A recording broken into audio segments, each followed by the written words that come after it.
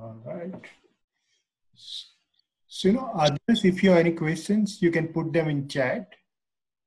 So in the meantime, the second question that I got was, you know, this is for 11 year old boy. And the question is, my son was bullied in school. So the son is 11 year old. And we got them transferred to another school. He's still scared. What can I do? Hmm. You know, children also go through traumatic times just like we do. You know, there's certain memories that we have as adults. Um, some are positive and some are negative that are like impressions that we that are impressions in fact that we carry into adulthood and that determine our outlook for example a child may have had the experience of almost drowning when they were very small they may not even remember that they had that experience but they're afraid of water after that so things like this may happen here we have a very beautiful tool that we give children in the Art Excel and YES program, and that tool is Children's Sudarshan Kriya. And it's a breathing meditation, and the effects of this are so powerful. Research has been done on returning vets from Afghanistan, the Middle East, and of course, dealing with PTSD and all the trauma of what they faced. And what they found is when they researched the adults and the adult version of this practice, was that it was extremely useful, extremely beneficial for alleviating stress, um, not just then, for, but for a continued period of time. Anxiety and PTSD, fear, trauma, all those things that are related to PTSD. And it was so effective. Now imagine having that freedom. You know, as situations and events come up in life, you're also you also have the skills through your breathing meditation to let go of them. Sri Sri Ravi Shankar, who is the founder of this program, once said that if every child in America does the Art Excel course, violence in America would end. And when a child has not released that trauma, even though they've been victimized in one instance, they may feel justified in bullying in another instance. So it's imperative that we give the tool, tools to the children to help them deal with this day to day trauma that they have faced and these episodes that happen in their life. And Art Excel is a very, very valuable practice for this. So I would highly recommend that, Arpit. Right. Yeah, that helps. And, you know, I would say anybody who wants to ask a question, please also mention the age of your child. That will help, you know, Mona in answering the question, right? So the next question I have is, you know, how to deal with a child who wants to play video game most of the time and when asked to limit it, throws tantrums. And it's nine year old boy. I think the parents are experts on this. You know how much time you should give to a child for video games. One thing that I just want to point out um, I know a lot is coming up about the effects of video games, but one more thing that we don't uh, pay attention to perhaps is that the number of impressions that they pick up. Until age eight, the mind is so supple and it picks up impressions very quickly. And so, till that point, we should really, really limit the television that they watch, at least until age eight. Because all of these impressions, and we see like when we're watching TV, within a 30 second period, we're bombarded with so many different impressions that get, um, that enter the mind. So we really want to be mindful of that. And then the more they play video games, you know, they also lose touch with reality between what is real and what is unreal. In a video game, somebody is demolished and then they spring back up to life. But in life, that doesn't happen. So it's imperative that we limit the games. And initially, it may be difficult because they're not used to having that restriction put upon them by you. But if you don't do it at this age, at age nine, when you still have such a huge say over their life and what they can and cannot do, then later it becomes very difficult. So, this is definitely the right time to bring that discipline, to exercise the parental authority at this time. Right. You know, actually, today only I was talking to my daughter, and you know, we are talking about being smarter in the class. So I asked her, I'm like, no, when TV and currently she's watching like just for laugh gags videos. I'm like, do you think that makes you smarter? She's like, no. I, I didn't follow Arpit. What was the conversation with her? So, you know, I think me and her were talking about her what she did in the class today. And she's like, you know, today I got this very good score in this game. Like it's like educational game. Oh, okay. So my teacher thought, you know, I'm smarter in my class. Mm. So then I asked, like, how can you be smarter every day? Does watching these YouTube videos makes you smarter? And she's like, no. So I'm like, okay, then maybe we should not watch that. You know, it's interesting, and these games are so addictive. So I was playing one last week, and it was a word game. And it was interesting because I was observing myself as I'm playing this. And of course, I did many rounds of this game because the moment you clear one hurdle, then the next game automatically starts. And you think, oh, it's just going to take a few more minutes. Let me finish this also. And then your numbers keep racking up, right? And it was interesting because you get this false feeling of some accomplishment, which is no real accomplishment at all. In fact, it's the opposite of accomplishment because you're wasting time that you could be better spent doing something else. But I was thinking, like, these guys are so clever. How they've studied how the human mind works and are able to manipulate us so easily. And without awareness, we just go on and on and on, playing something which gives us no joy, really, as we're doing it, and definitely no long term joy or benefit afterwards as well. So it's fascinating how that happens. Now, the real skill in life, I would say, is also developing soft skills. You know, as parents, particularly often Asian parents, you know, all of us, we put so much emphasis on education, isn't it? Because we know the value of education. But we also need to put emphasis on soft skills, on human development, so that they feel comfortable in different situations, they feel at ease with different people. And that really helps them move forward in life.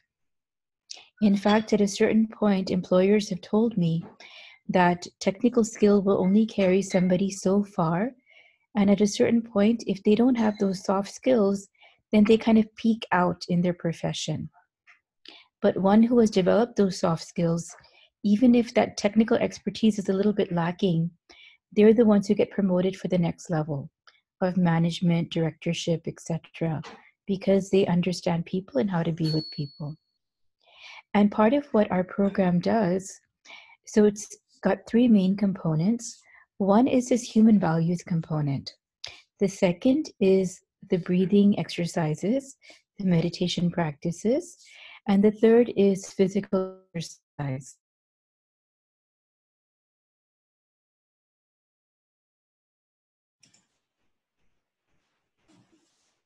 Feel that they're learning anything.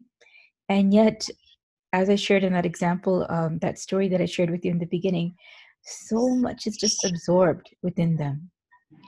Now, as they're doing all of this, there's so much interaction with other people and other people within the class. So those skills start developing. A question has just come up from Rika. Does Art Excel teach soft skills? Yes, those soft skills get developed in the classroom because you're interacting with other people, you're playing games, you're developing leadership, teamwork, collaboration, all those skills are coming up as part of class. Even this ability right in the beginning of how to make a new friend. So we were talking about human values. One of the first keys, what we call the keys to success, success is to make a new friend every day. And it may seem something like very simple. But as children get older, not everybody is able to be comfortable with different people. We've seen this. So right away, they're actually paired with a buddy that they don't know in class, and they're asked to get to know that person. And we actually review, like, what are some of the things you can ask them? So they regain that skill of how to make new friends. And then we encourage them throughout the class to keep meeting new people and keep extending their hand. Now, it seems like a very simple thing, right? Make a new friend every day. But now carry that skill into adulthood. Does it happen when you're at work that certain people irritate you? At the office, you can nod. Yes? Right. So certain people irritate you, get on your nerves, and you're just like, what's wrong with these people? But then if you have that skill of making new friends and meeting new people throughout your life, what you develop is what you develop is skill. You learn how to be with different types of people. You learn how to be in different situations, from how to deal with people with different perspectives, and how to incorporate those perspectives, how to understand them. You get exposed to so much. And because you're exposed to so many ways of thinking and being and doing, your buttons don't get pushed so quickly. So, such a simple thing becomes this lifelong skill for everlasting success. Thank you. Padma's asking a question How to help my kid understand and control their emotions? He's 13. Padma, first of all, at that age, I think um, the biggest test is how much can we control our emotions because they are constantly pushing our buttons. You know, kids are experts at this, right? Have you noticed? They know exactly what to do to push our buttons, to irritate mom and to or dad and get a particular reaction out of them. They have PhDs in this. They've been observing you from the time they're born. And, you know, honestly, they could write a PhD thesis like that about how to push the buttons of each member of the family. And at that age, you know, they're testing the waters of how much they can get away with. So, first and foremost, the skill at age 13 is for us to respond rather than react, to have a greater control over our own emotions. One thing is for sure that kids learn far more from our presence, from our behavior, than by what we tell them to do. Have you noticed this? That you'll tell your kids something to do, but then the moment you do the opposite of that, they point that out to you. Oh, but you told us to do this and you're not doing it. And it's a very human thing from our side, right? We can't be perfect, but they're very quick to catch on. So I would strongly encourage the parents also to do the Art of Living program, to do your practices, so that you can be more centered and have that skill in action. And also, you know, when they're so reactive, because this is the age, hormones are going crazy, emotions are going crazy. This is a very volatile period in their lives, the teenage years.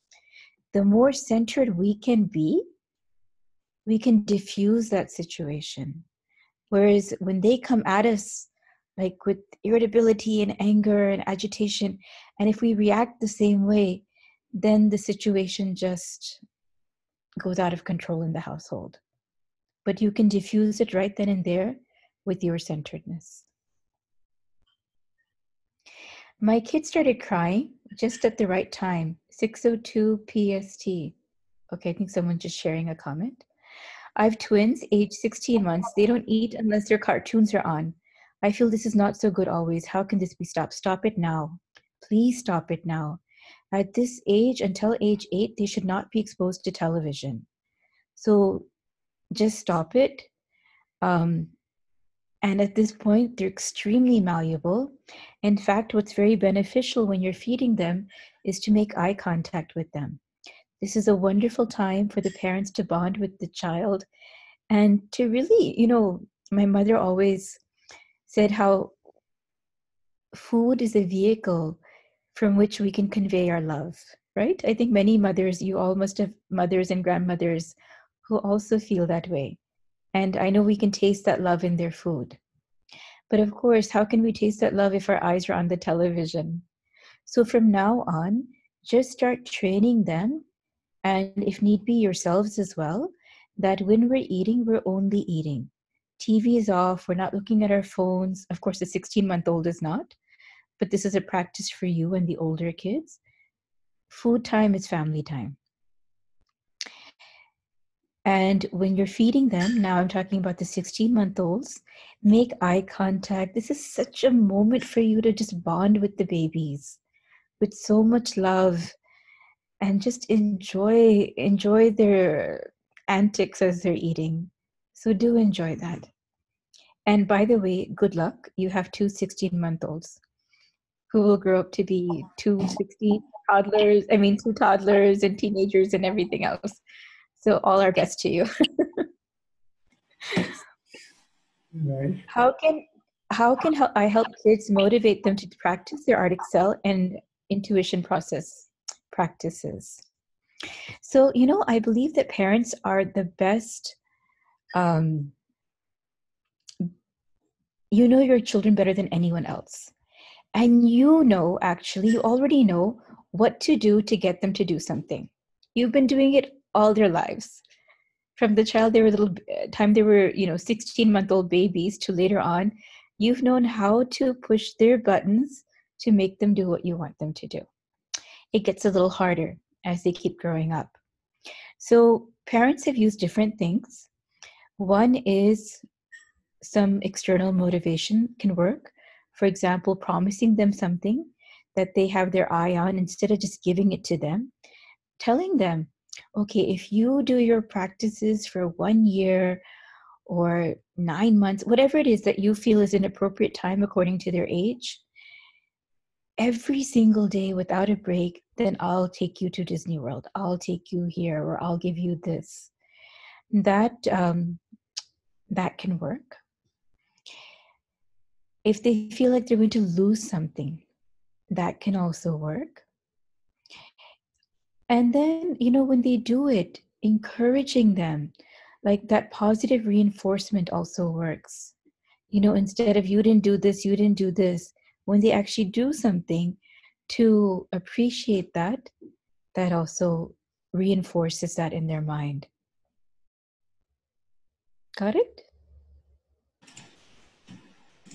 My children are 8 and 11, and they enjoy episodes and YouTube and I see them. Actually, I just want to answer one more question about that. Um, should you force the kids to do their practices? I'll leave that up to you. I would say inspire the kids to do their practices. One thing I've seen is that those households in which the parents are doing their practice, those are the ones in which the kids are keeping up with their practice because it becomes part of the culture of the house.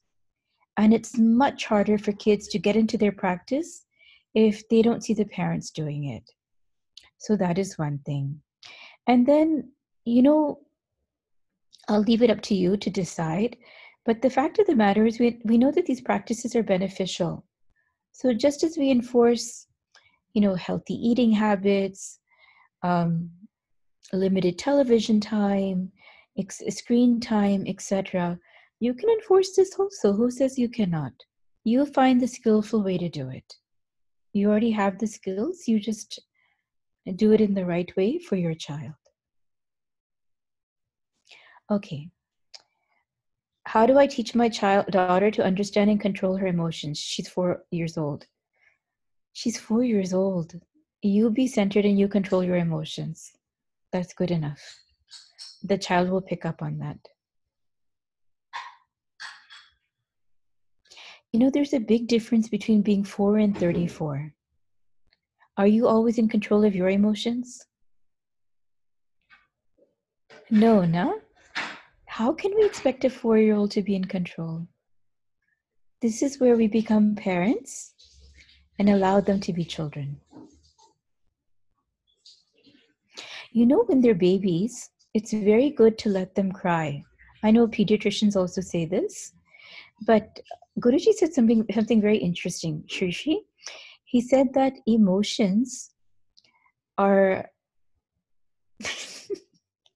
emotions are often um, emotions are in the lung area and by allowing them to cry it releases those impressions those built up emotions even from the past that they may be carrying when i say the past you know like past lifetimes uh, included. And it also opens up their lung capacity. So allowing them to cry for a couple minutes when they're babies is very beneficial. Have you seen that when they're small kids, like toddlers, babies, you know, they just, um, the word that's coming to me is a Hindi word, you know, tuntun, um, which I think even in English kind of translates like they just kind of are irritable. Like you can't, um, you can't make them content. You you can't figure out why they're crying so you give them a bottle. They don't want the bottle. You change the diaper. You try to put them to sleep. You pat their heads. Nothing's working. You give them some toy. They throw the toy and they keep crying. They keep crying. It's because they want to cry they're looking for an excuse to cry so let them cry let them cry for a few minutes and release those impressions those emotions so that they can feel that release my children are 8 and 11 and they enjoy episodes and YouTube, and I see them very happy that time. Should I say no or should I leave it to their interest? My elder knows the importance of grades and studies. You know, of course, they'll be interested in these YouTube episodes and all of that because they're meant to be entertaining. Why don't you give them other things to do? Read books to them, take them outdoors, take them to the park, go out in nature. This is not the age for them to just watch television. It makes them static. It also decrease. Do you know that watching television um, decreases brain cells? Have you noticed this? Have you? Okay, let's say you're watching Netflix or you're watching a three hour Indian movie. You watch the whole movie. Do you feel kind of dull afterwards? or Netflix is such a wonderful example because the next show comes on immediately, right? If you're watching a series. And that's why they say um, binging on Netflix. So, this is just an example for you to experience how dull the mind becomes. Instead, encourage them to do creative things. Let them write their own stories. Let them play games. Let them be inventive those creative talents don't come up when all the storytelling is done for you.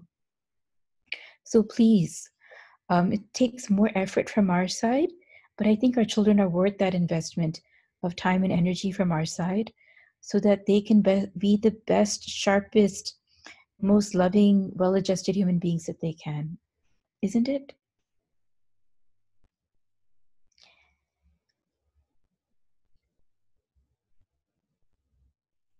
How to enforce and stick to rules to a kid who does not listen. Age of the child is four and a half.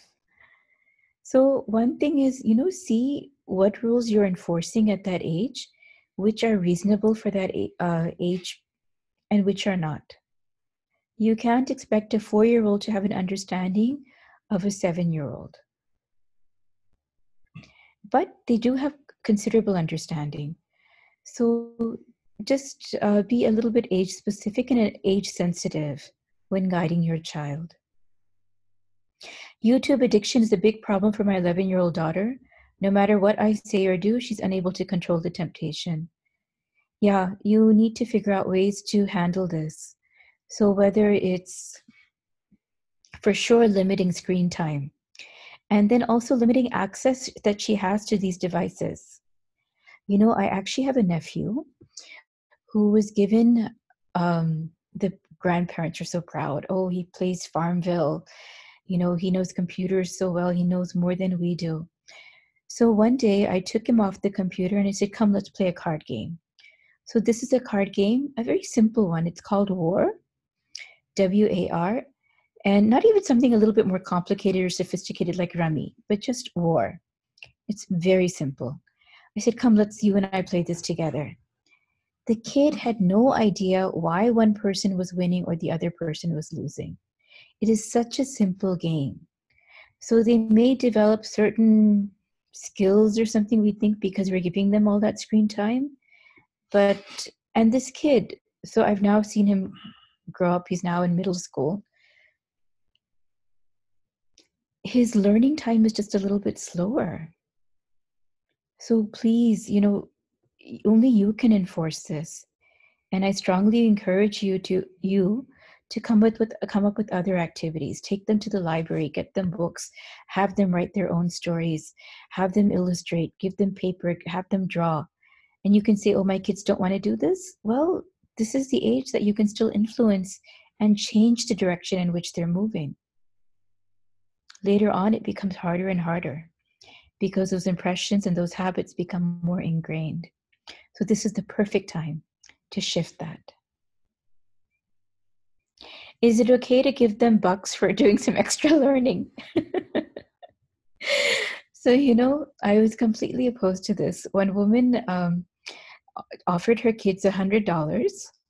I guess back when hundred dollars meant something to children. So she gave. She said, "If you be vegetarian for one year, I'll give you a hundred dollars." The kids became permanent vegetarians in three months. And even though I protested, it's a family member and said, You shouldn't do this, this is wrong, this, that. Well, I was proven wrong. So you see what works best for your kid. Um, definitely, you know, one thing that Guruji shares is not to create this sense of ownership around money for kids. So to keep a bowl with money inside and say, okay, whatever you need, you can take it from this bowl um, and then whatever's left after you have bought what you want, put it back in this bowl. Then this feeling of this is shared, this is part of something for the whole family comes into them rather than the sense of this is your money, you keep it. And then that selfishness comes, that greed starts coming. then what happens later is when they're adults and we're much older, then it gets turned around on us. Why should I give this to my parents? That's my money. Why should I spend on other people? And other people could even be their own family, like their brothers and sisters. This is my money. So, this is something we don't want to encourage. And the way to offset that is to have a communal bowl in which they can remove money and put it back. My parents actually had this as well. Um, I don't know if they did it consciously or unconsciously, but um, I remember as a child, I would fight with them. When I first came to this country, we heard everyone was getting allowances. So for a short period, they started giving allowances, though neither of us remembered. Neither I remembered to collect it, nor they remembered to give it. But with the little that I had, because that sense of ownership was really not inculcated, uh, I remember fighting with my parents, my mom, let me pay, let me pay. And other parents just looking at us in the store like, what a strange child. So he definitely does not encourage giving um, giving pocket money and things like that, but having that communal Great. The response came back that I like this idea. Probably I will follow this because I'm also against giving allowances. Good. So we've been talking now for ni- uh, for about uh, about 35 minutes. Shall we shift and do a meditation? Maybe just one last question I'll answer, which has just come in. And then would you like to meditate? Yes. Okay. Will letting the children sleep next to us prevent them from being independent when they grow up? What is the best age for the child to sleep by themselves? This is such a good question. So, as a child, I was absolutely horrified when some family friends of ours brought their baby home from the hospital I must have been about seven or about eight years old. And the child was kept in a separate room. I said, How could you do this? Like to me, it was just horrifying that this crib was in a separate room by itself. And they said, No, we want to teach them independence. And it just felt so wrong to me because as a child, I had complete access to going into my parents' bedroom and sleeping with them whenever I wanted. And then years later, I heard Guruji talk about this.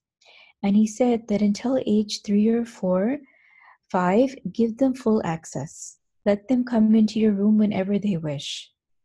And for sure, when they're newborn babies, you know, because they've been experiencing feeling the mother's heartbeat for so long, that it's very comforting for them to continue experiencing your heartbeat. So, keeping them next to you when you're sleeping, they're sleeping, having them like this when they're, we, we all do this, right? When they're babies. That's very important. And he actually said that having this access until the age of three, four, five, it actually gives them a sense of security in the world. And when they don't have it, they feel insecure. So it's interesting. So when we make them, we think we're giving them independence and force them to do something that's not comfortable at that age, it's actually creating insecurity rather than security. And a secure child, of course, is an independent child.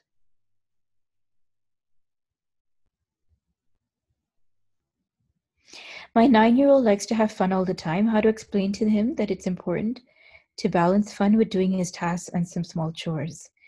At that age, they should definitely be doing chores.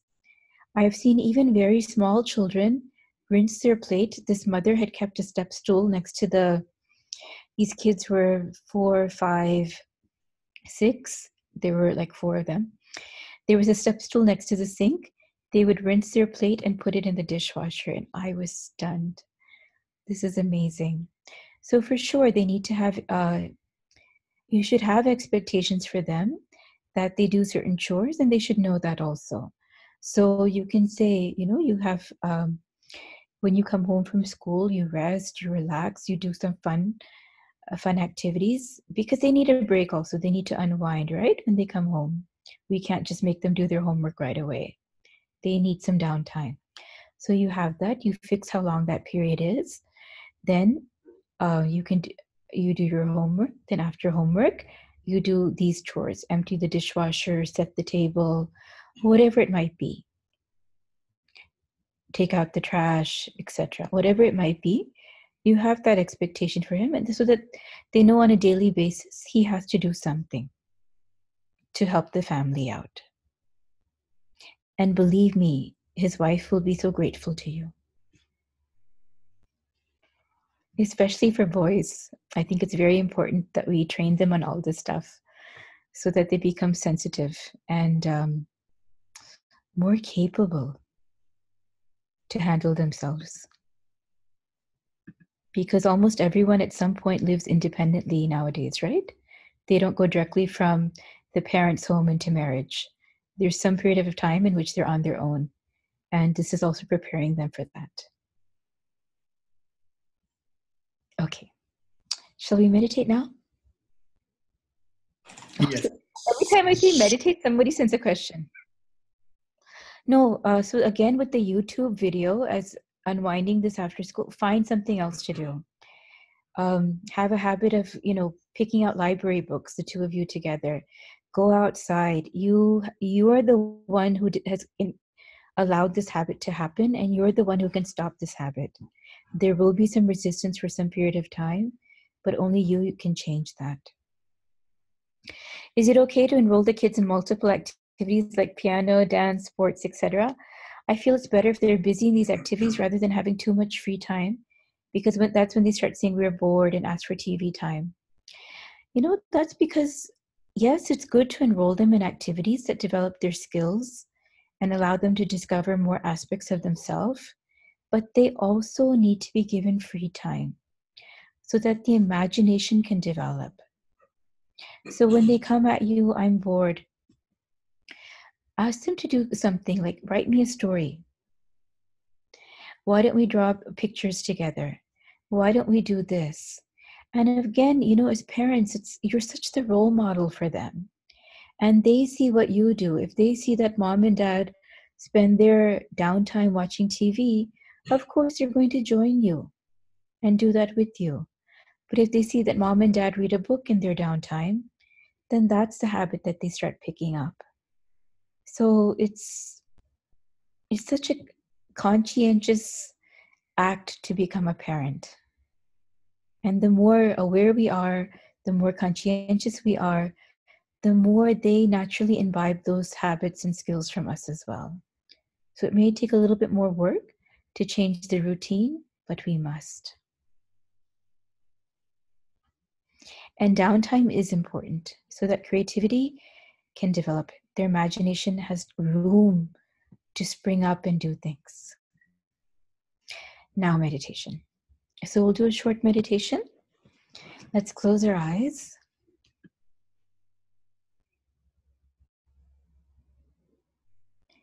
Let's take a long breath in.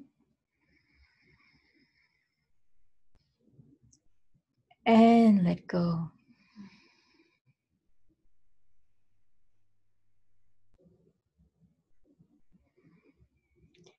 Let's take another long breath in.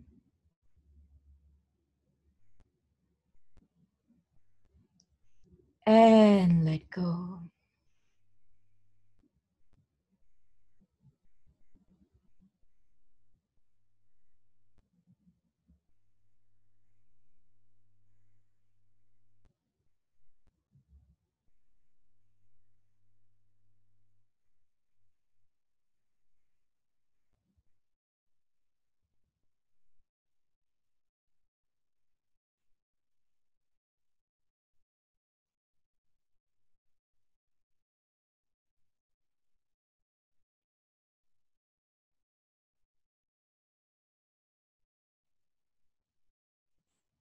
Let's become aware of the sounds in the environment.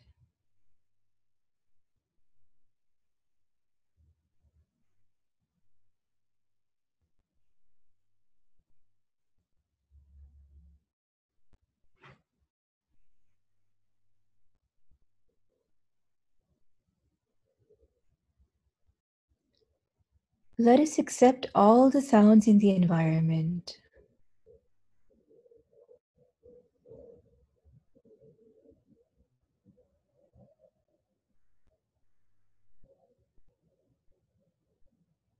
Now we're in harmony with the environment. Let's take a deep breath in and let go.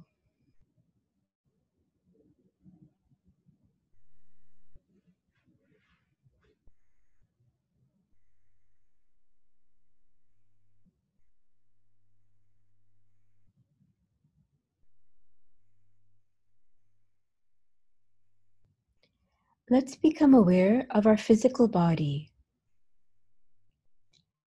This body is a beautiful gift given to us with so much love by nature, by the divine. Let us love and honor this body that we've been given.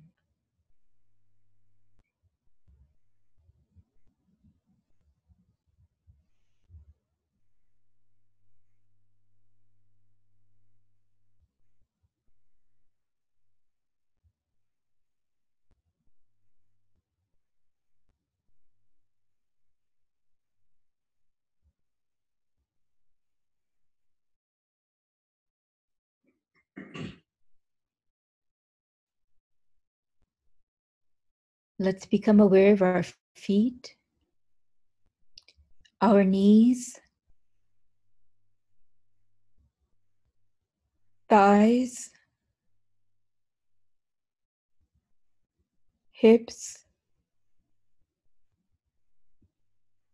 abdomen, stomach, chest, shoulders, right arm, left arm, throat, face, and head. Let's become aware of the whole body. The whole body. Let's take a deep breath in.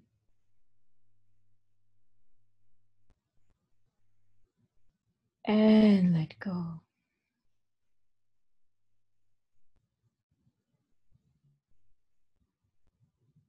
Let's become aware of our thoughts.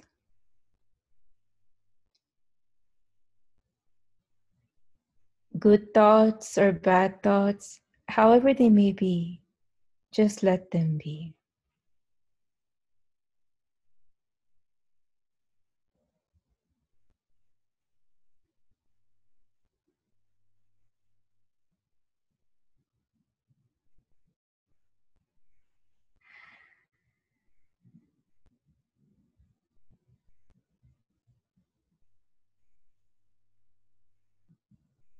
No need to resist your thoughts. Allow them to be there.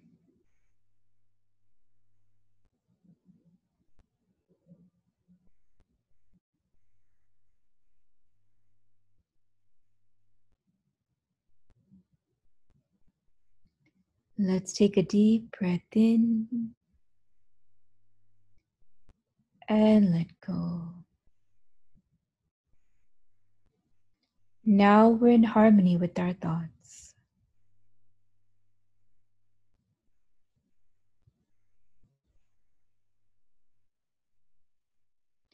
Let us become aware of our emotions, pleasant or unpleasant, just let them be.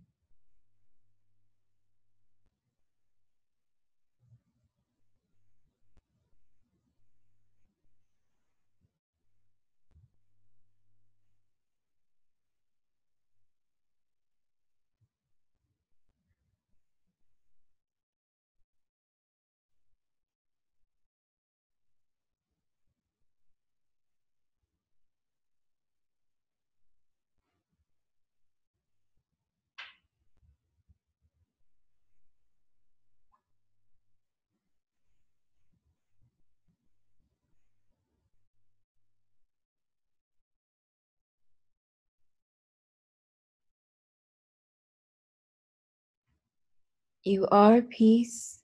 You are love. You are joy.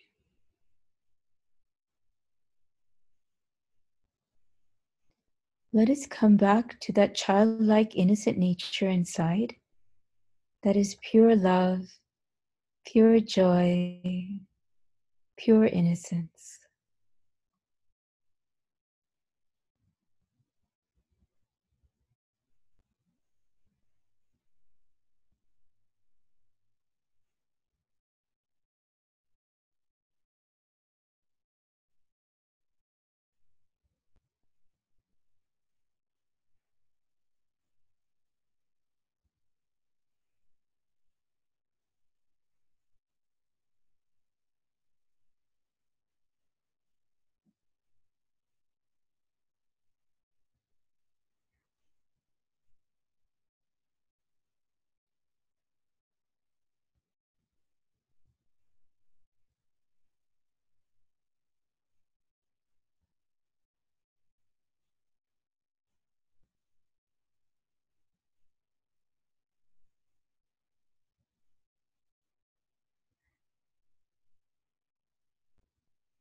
Let's take a deep breath in and let go.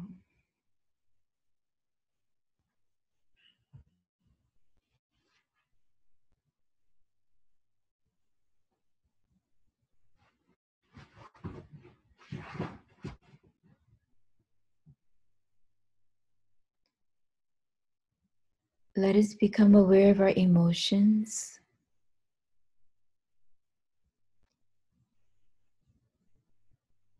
Our thoughts.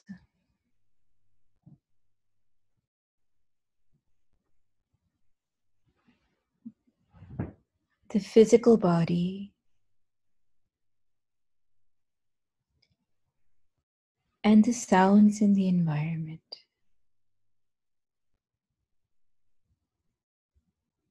Again, let's take a deep breath in and let go.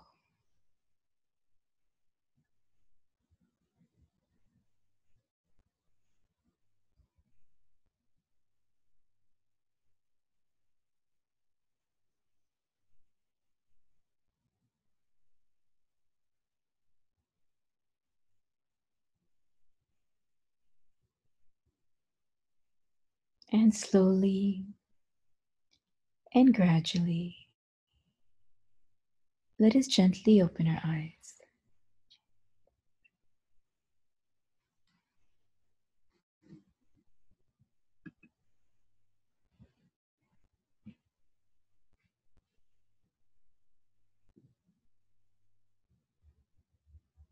It was good. It's wonderful. So thank you so much all for attending. Arpit, did you want to sh- share anything else? Yes, so you know, we mentioned the Art Excel program multiple times. So, you know, Art Excel program is mainly for the kids with in the age group of 8 to 13 years old. You know, and we have some Art Excel programs lined up across the country. So I'll share my screen. Just a second. You so we have Art, of, Art Excel program in Brentwood or Nashville. It's scheduled from next Friday, which is March 8. And it's four day program, three hours each. So March 8 to 11. You know, and these are the URLs. One is tiny.cc slash art excel Nashville. Or you can reach out to me as well. My phone number is 615 705 7713. You know, our next Excel program is in Folsom, California. Radhika is hosting it. It's from April 18 to 21. And you know, just like Excel, you know, we also have YES program. So the YES program is for 14 to 17 year olds. And that is also hosted in Folsom. Same dates, April 18 to 21. And if you need more details, you can contact Radhika. Her number is 510 396 3880. Our next program is in Matawan, New Jersey. And I believe it's from April 11 to 14. And if you need more details, you know, you can reach out to Mamta Bajaj. Mamta, you want to add anything else here?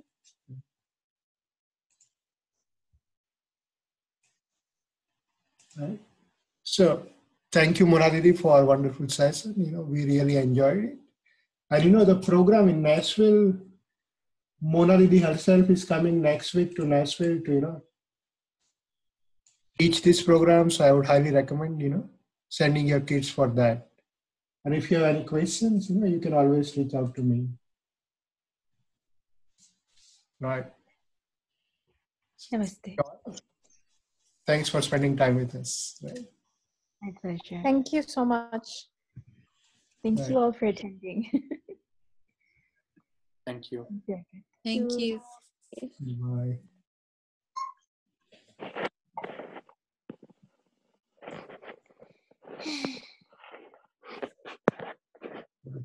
So I'm trying to figure out how to end this. Yes. All right. Thanks all. Bye.